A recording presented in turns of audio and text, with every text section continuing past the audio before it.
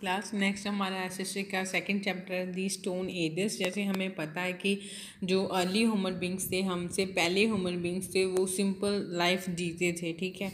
वो basically hunters थे, शिकारी थे गैदरस थे मतलब चीज़ों को इकट्ठा करने वाले थे। वो मेनली एनिमल्स का शिकार करते थे फ्रूट्स वगैरह को नट्स रूट्स वगैरह को इकट्ठा करते थे, ताकि वो खा सकें। वो गुफाओं में रहते थे ट्रीज़ के ऊपर रहते थे, जो अपनी बॉडी है, वो दरख्तों के छिलके से, शाल से और एनिमल्स की स्किन से फर्श से वो क्या करते थे? कवर करते थे। वो सिंपल टूल्स सिंपल हथियार यूज़ करते थे, जो कि स्टोन से बनी, पत्थरों से या फिर एनिमल्स की बोन से बनती थी। वो एक जगह से दूसरी जगह घूमते फिरते थे फ़ूड की तलाश में, खाने की तलाश में और रहने की, जो शेल्टर छत की तलाश में आप बोल सकते हो। जो स्टोन एजेस है वो पीरियड है बिफोर ह्यूमन इससे पहले वो वाला पीरियड है कि जब ह्यूमंस बींग ने लिखना नहीं स्टार्ट किया था, जब उन्हें नॉलेज नहीं थी इतनी, और जो ऐसी हमें स्टोन एज के बारे में पता चलता, वो हमें जो भी नॉलेज मिलती है, वो जो एविडेंसेस मिलते हैं, ठीक है, जो भी नमूने मिलते हैं बोन्स के टूल्स के वेपन्स से, जो भी गुफाओं की पेंटिंग्स हैं, उन सभी चीज़ों से हम एक आइडिया ही ले सकते हैं कि वो पुराने जो लिविंग बिंग्स थे, वो कैसे रहते थे। ठीक है नेक्स्ट जो ह्यूमन हिस्ट्री है, उसको स्टोन एज को तीन पार्ट्स में डिवाइड किया गया। जब वो स्टोन यूज़ करते थे स्टोन की बनी हुई चीज़ें यूज़ करते थे तो ऐसी एज को वो क्या बोलते हैं, ऐसे टाइम को क्या बोलते हैं स्टोन एज बोलते हैं। जो स्टोन एज है वो मेनली तीन टाइप्स में आगे उन्होंने डिवाइड करी थी। फ़र्स्ट है paleolithic age old stone age भी बोलते हो mesolithic age middle stone age भी बोलते हो neolithic age new stone age भी बोलते हो। तो सबसे पहले हम ओल्ड एज स्टोन की बात कर स्टोन एज की बात करेंगे। जैसे हम पैलो पैलोलिथिक एज भी बोलते हैं।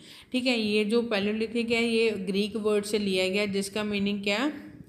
ओल्ड लिथिका मेन स्टोन मतलब ओल्ड स्टोन से बना हुआ जो भी एज से जब जो ह्यूमन बींग्स थे, वो स्टोन से बनी हुई चीज़ें यूज़ करते थे। तो इसमें क्या था, जो पहले ह्यूमन बींग्स थे, वो मेनली क्या थे, एक जगह से दूसरी जगह घूमते थे, भड़कते रहते थे, ताकि वो फ़ूड को फ़ूड की तलाश में, पानी की तलाश में, वो मेनली क्या थे मतलब एनिमल्स का ग्रुप्स में हंटेड करते थे ठीक है? उनको उनका शिकार करते थे वो हंटर्स थे मतलब शिकार करते थे और भोजन इकट्ठा करते थे। उन्हें ये नहीं पता था कि आ, मतलब आप कैसे ग्रो कर सकते हो खाने को जैसे बीज को कैसे बीज सकते हो ठीक है? उसमें फ़ूड आगे एक उसका पेड़ हो जाता है ठीक है? जैसे कि वो आप किसी बीज को बो देते हो तो उसी बीज का क्या होता है? आगे पेड़ जैसे हो जाता है ना ग्रो करता है। तो उन्हें ये नहीं पता था कि कैसे ये हम सब कर सकते हैं। जैसे आज का एग्रीकल्चर उन्हें ये सब चीज़ों के बारे में नहीं पता था। वो सिंपल एनिमल्स को हंट करते थे फिशेस को पकड़ते थे, जैसे फ्रूट्स वगैरह नट्स वगैरह को इकट्ठा करते थे। जो वुमेंस थी, वो मेनली फ़ूड को इकट्ठा करती थी। जो मैंस थे, वो शिकार करते थे।